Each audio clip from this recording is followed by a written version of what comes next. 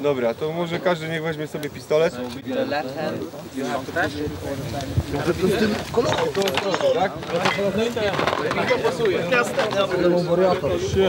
Wyścig zbrojeń przed sezonem trwa i to nie tylko w gabinetach piłkarskich menadżerów i prezesów. Sztab szkoleniowy Lecha, jak widać, uzbroił także piłkarze, którzy ostre strzelanie urządzili sobie tym razem w nieco innych warunkach. Po sześciu dniach solidnych treningów popołudniowe zajęcia przekształcono w paintballowe zmagania przy pomocy broni na kule wypełnione farbą. Choć część piłkarzy po raz pierwszy miała okazję sprawdzić się w tego typu rywalizacji, w roli komandosów sprawdzili się całkiem nieźle. Pierwsze starcie indywidualnym wypadem rozstrzygnął Karol Linetty. Nie no, trzeba było pierw czyścić teren, nie? W koło. Nic, szedłem do góry, wziąłem flagę i szybko biegłem. Chłopacy mnie skurowali i zdobyliśmy ten punkt. Ilu kolegów zlikwidowałeś zanim zdobyłeś tę flagę? Nie, z tego co wiem, to chyba trzej miałem pretensje, że w głowę uderzyłem, więc... Nie, myślę, że czterech może, ale pierwszy raz gram mega fajnie, naprawdę. Czuję się jak trochę w grze, ale mega sprawa, że wszyscy tutaj są i razem się bawimy.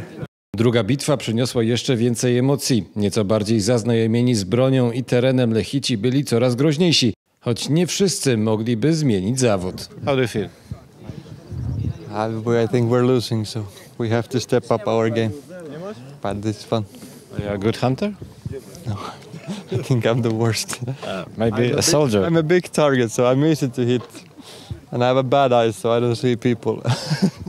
Dobrze na polu bitwy radzili sobie za to bramkarze. Krzysztofa Kotorowskiego i Macieja Gostomskiego kule praktycznie się nie imały. Za to Mateusz Lis i Jasmin Buric poszli na całość. Udało mi się kilku zabić, ale nie, nie udało mi się też uciec od, od niektórych. No i niestety dostałem w rękę i poboli i przestałem.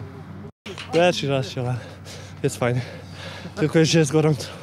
Choć na placu boju piłkarze strzelali do swoich kolegów z drużyny, paintball z pewnością dał im sporo radości i zacieśnił więzy w grupie. Po kilku potyczkach zawodnicy opuszczali pole gry z uśmiechami na ustach. No na pewno taki pozytywny nastrój ma duże przełożenie na lepszy odbiór zajęć i większą motywację, ale też niewątpliwie ma, ma ogromne znaczenie, jeśli chodzi o aspekty integracji grupy. Fajn, fajnie, że tutaj dwie ekipy, które w drodze losowania się wyłoniły, tak, tak fajnie ze sobą rywalizują. Sztab szkoleniowy, jak na dowództwo przystało, obserwował zmagania swoich podopiecznych z pobliskiego pagórka.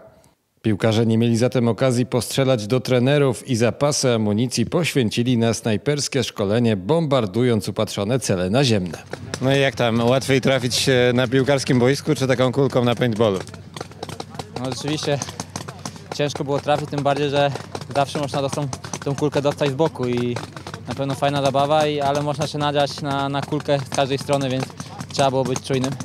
Masz e, markę dobrego snajpera? Czy tutaj również się sprawdziłeś? No dzisiaj chyba ja dosta, zostałem ustrzelony, więc na pewno jest y, fajna zabawa, ale w, ty- w tym pojedynku dwa razy dostałem, ale jednego też ustrzeliłem. Pierwszy raz e, próbujesz e, swoich sił w paintballu? Tak, akurat w tą zabawę pierwszy raz. Fajna, ale rzeczywiście dzisiaj gorąco jest i, i było ciężko, ale fajna zabawa dla rozluźnienia atmosfery. Y, Miło było spotkać się tutaj i w ten sposób zabawić. Po wszystkim był czas, by ochłonąć przy ognisku i efektownym pojazdem ruszyć w podróż powrotną do hotelu. Tam czekała ich już przygotowana przez trenera Macieja Skorże piłkarska odprawa i powrót do rzeczywistości.